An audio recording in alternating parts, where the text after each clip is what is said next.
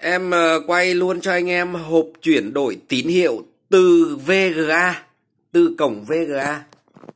Đấy, hộp chuyển đổi tín hiệu từ cổng VGA chuyển thành tín hiệu video.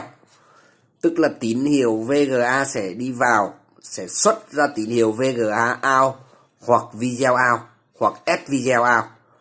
Một cái hộp chuyển đổi tín hiệu từ VGA ra cổng AV hoặc S video. Rất đầy đủ anh em nha, tín hiệu từ VGA anh em có thể chuyển đổi qua cái hộp này. Hộp chuyển đổi tín hiệu, đầy đủ phụ kiện đi kèm. Đầy đủ phụ kiện đi kèm cho anh em luôn. Mới cứng trăm phần trăm